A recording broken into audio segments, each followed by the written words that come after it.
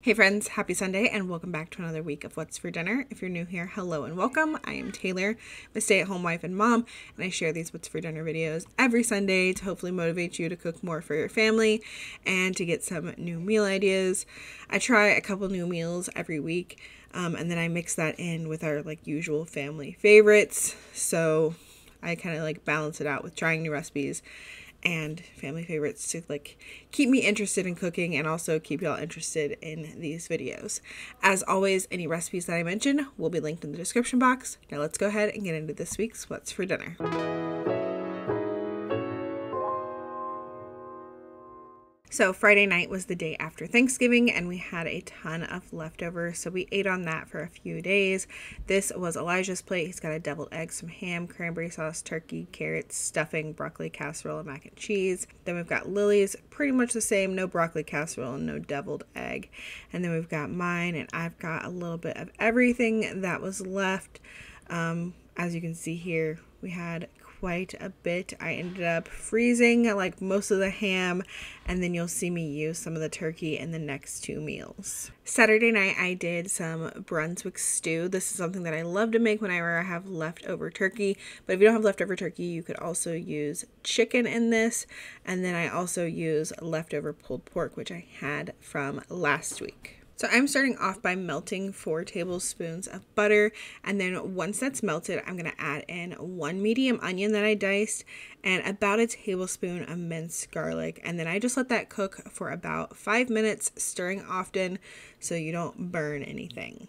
This recipe I've actually shared before. It has its own separate video, but I did do things a little bit different this time. But if you ever want to go back to one of my recipes, you can always just search my name, Taylor Elmore, and then what the recipe is. So like Brunswick stew and any videos where I mentioned that should pop up. So after five minutes, I'm going to add in my liquids. So I'm doing three cups of water and then three teaspoons of the Knorr chicken bouillon, or you could just do three cups of chicken broth. And then I'm adding in one can of diced tomatoes, one eight ounce can of tomato sauce, and one cup of barbecue sauce. And then I'm just going to bring that to a simmer and let it simmer over like a medium heat for about 15 minutes.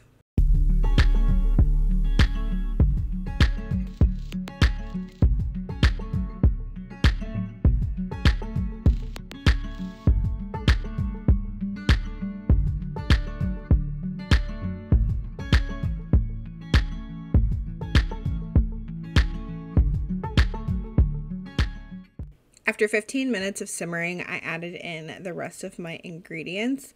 So I did change a little bit here.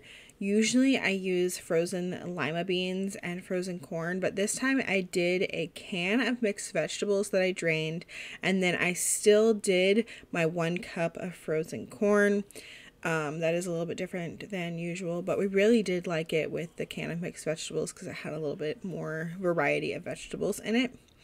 And then I added in about half a teaspoon of hot sauce, salt and pepper to taste, uh, a quarter teaspoon of some dried thyme, and then about one and a half cups of cooked chicken or turkey, which I did turkey, and one and a half cups of some barbecue pulled pork, which I had left over from last week. And usually I have that kind of stuff in the freezer, so that makes this easy to make and it's a great thing to make with leftovers. So I added that stuff in and then I let that simmer for another 15 minutes and then it was ready to eat. I always like to serve this with a roll or some kind of bread on the side. We had some of these Sister Schubert's rolls left over from Thanksgiving, so that is what we had with it. Sunday night was our last night of eating leftovers. I just kind of threw something together with the last of the turkey and the last of the gravy. So I had some egg noodles and I boiled some salted water to cook those up.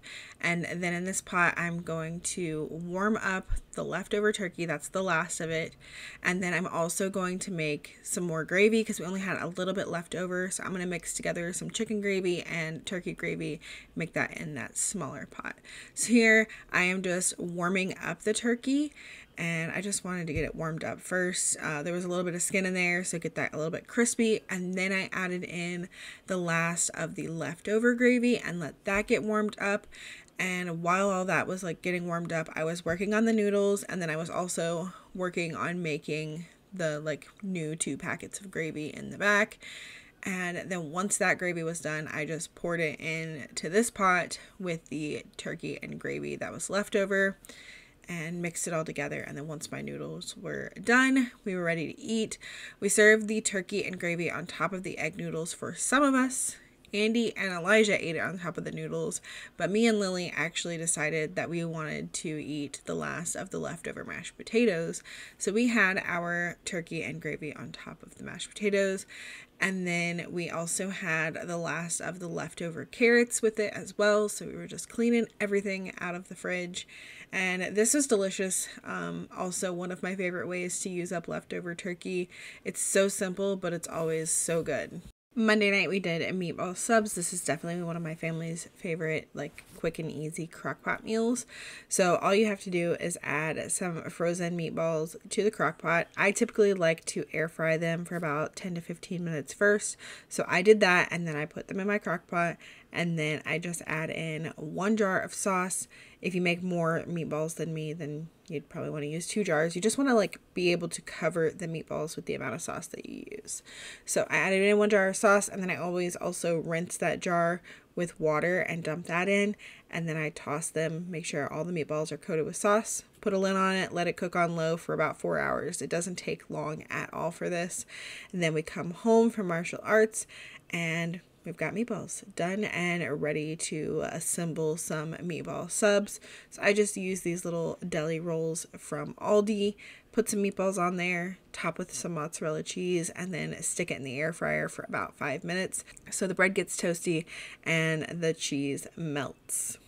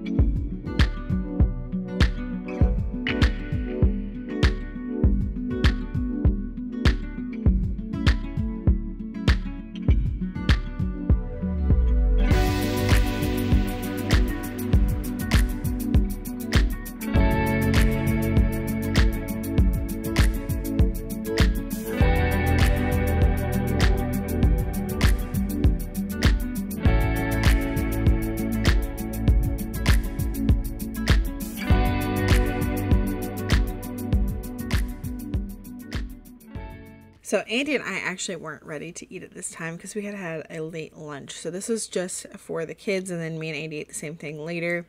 But we all just had some fresh veggies on the side.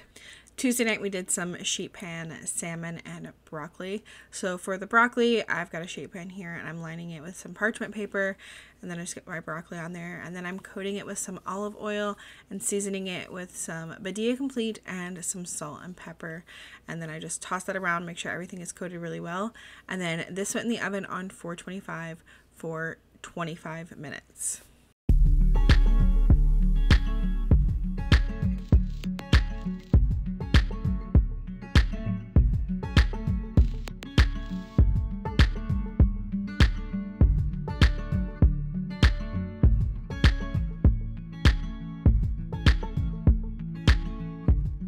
Then for my salmon, again, I've got it on a sheet pan lined with some parchment paper. And this is boneless, skinless salmon that I get at Sam's Club that we really like.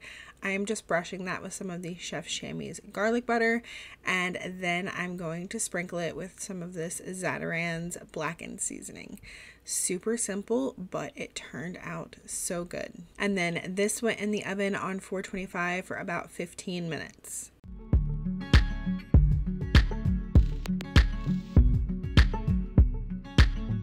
To go with this, I just made some garlic parmesan orzo. So this is all you need for that. Some parmesan cheese, some Chef Shamy garlic butter. You don't even have to have that. You could just use regular butter, some orzo, or you could just use any kind of small pasta, some garlic powder, salt, pepper, and parsley.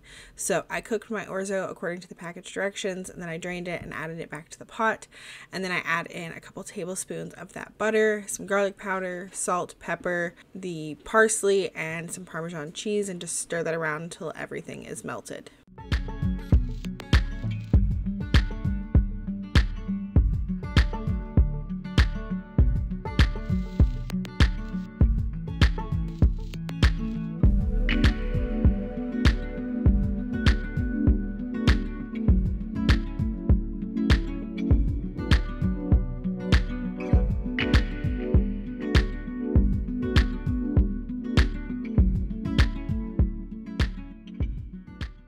And here's what that looked like all plated up when it was done.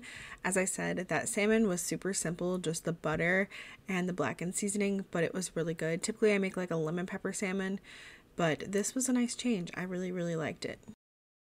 Wednesday night we had tacos and homemade refried beans. I made these refried beans in the crock pot. I have made this recipe before and it's super easy and they turn out delicious. So in my crock pot I have three cups of dried pinto beans that I rinsed and kind of picked out any like broken beans or rocks.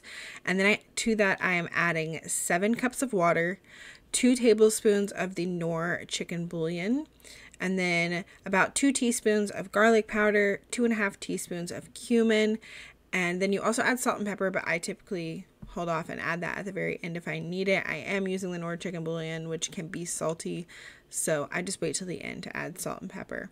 And then I also add in one medium white onion. I don't cut it very small because I'm going to be taking the immersion blender to this anyway, so I just cut it into little chunks. And then I let this cook on high for nine hours. And then you're going to go in with an immersion blender and just blend it all up. And typically in like traditional refried beans, they'll use like lard or bacon grease or something in them. Um, but I didn't have any bacon grease, so I just added in a couple tablespoons of butter because that's what the recipe said you could use.